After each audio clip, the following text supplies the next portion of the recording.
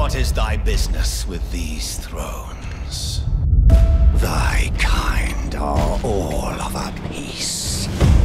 Pillagers, emboldened by the flame of ambition.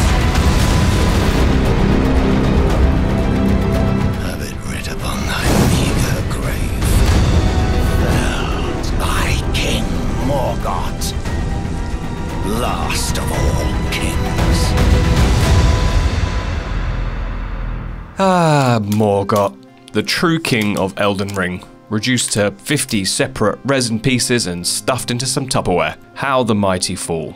Not to worry, let's get you lined up, old buddy.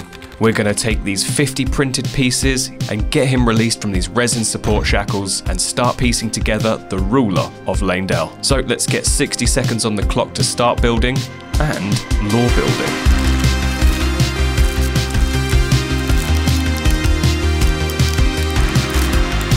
Though Morgott was born of royal lineage to Queen Marika and Godfrey, he and his twin brother Mohg were both born as accursed omen children, and were therefore exiled to the subterranean shunning grounds below the capital. Whilst Mohg went off to begin his new dynasty after kidnapping Miquella, Morgott remained and vowed to protect the Erd Tree, then, after assuming the name of Margit, he ventured out into the lands, killing anyone who would attempt to approach the Erdtree in hopes of becoming Elden Lord.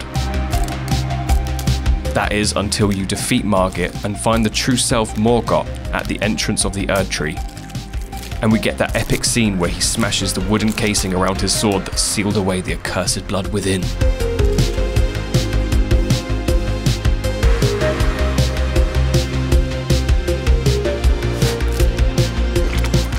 And that's 60 seconds up. Before painting, we just need to prime him black. So let's get some white ink in the airbrush to create an epic zenithal highlight on our Omen King. Keeping the angle high up and pointed down will create that beautiful contrast lighting to get us ready for painting. It's a beautiful thing, highlighting with ink, it makes it look so moody and makes me feel like I know what I'm doing.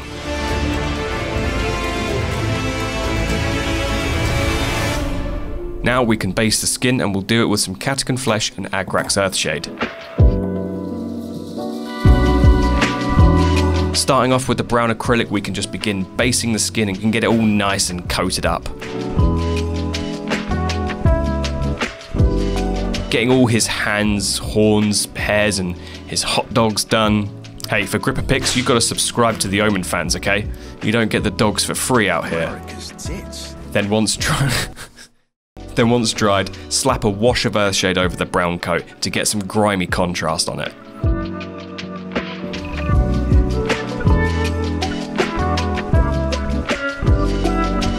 And a good slapping of Zandri dust will be a good base colour for the tattered cloak. And keeping it thin, you should still keep some of the shading underneath. It's not essential, but I find it helps when I'm mapping out the shadows later on.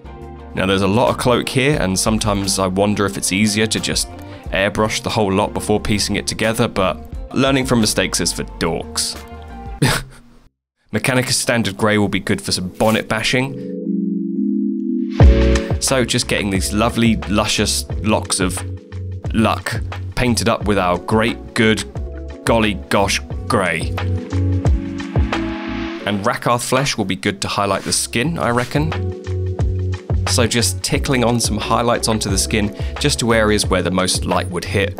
Surface areas facing upwards and the bits that are poking out the most, you know, I'm not the best at mapping out light, but it makes me feel like a fancy artist doing it.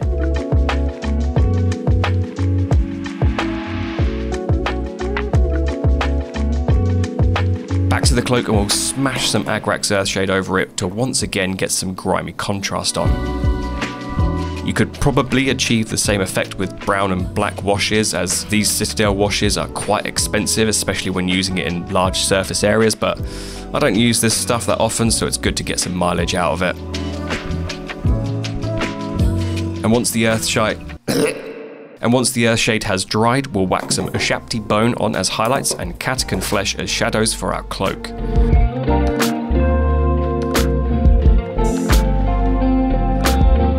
Deciding to keep the tones quite similar to each other so our overall colour palette is quite muted and earthy and hopefully will all work together quite nicely on the final product.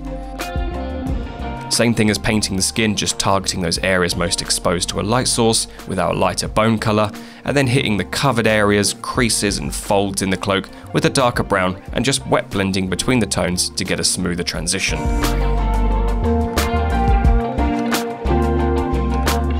Over the top of both those tones on the cloak, we'll be punching on some extreme highlights with some off-white Wraithbone.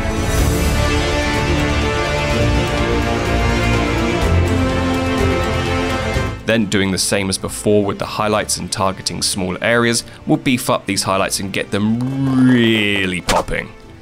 This off-white colour will also be handy to add the same bright highlights to the skin as well.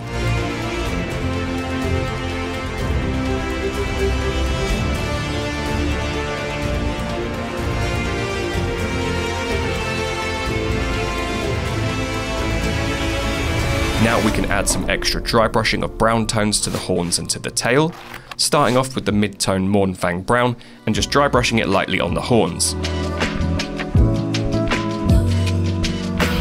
The texture of the horns lend nicely to dry brushing and we can just do nice light little strokes to just get as little paint off as possible. Then the same to the tail as well. Once done with the brown, we can move up to the Zandri dust tone just to get those extra highlights in and do the exact same method.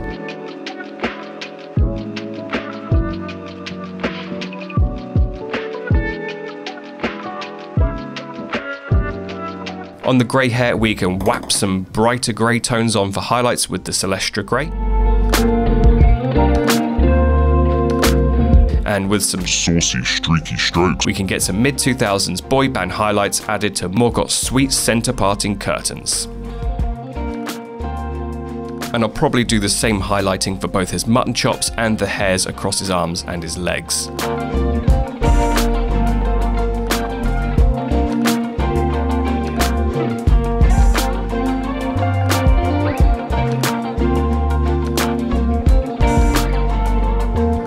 For the final piece onto the sword, we'll base the handle with some metallic paint.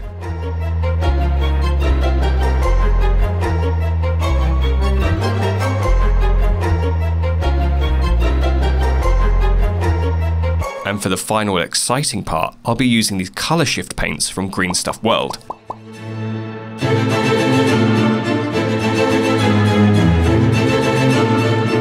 I've never used these before, but his swords seemed the perfect excuse to try them out. I saw them on Instagram, they looked really cool. They have that kind of chameleon metallic tone shift effect that you see on like fancy Lamborghinis that change color under certain lights. And his sword has those kind of crazy warping colors that bleed into each other. So, hopefully, after mixing loads of these different colors together on it, we'll hopefully get a pretty cool looking effect. Now, I would say that this sword now has more of a similar look to Astel's crazy Cosmos style than the Cursed Sword, but it's still a pretty cool effect. I don't really know what else I'm going to use this color shift paint for. I don't really have anything lined up, but maybe when I do more cosmic crazies in Elden Ring and Bloodborne, I'll get more use out of them. I, I, uh, I don't know. But there we are, there's our Omen King. All that's left to do is get him on the base that I painted earlier. And look at that. Super wobbly and unstable. Perfect. The base didn't print straight as warping is something that can occur in resin printing, so maybe I'll just make him his own handmade base another day. But hey, we'll leave him in this wobbly state so that we can get those ending beauty shots. But before then, I want to thank you all for joining me again this week. If you did enjoy today's episode, be sure to punch that like button, leave a wizened finger message below, and hit subscribe if you haven't already.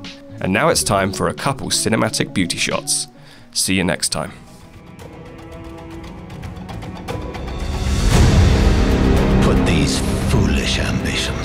Rest. The throne,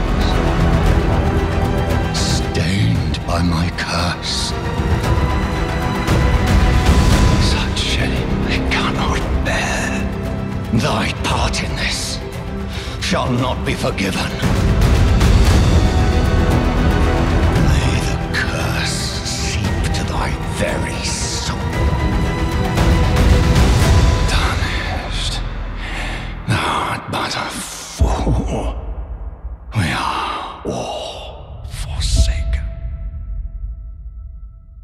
None may claim the title of Elden Lord.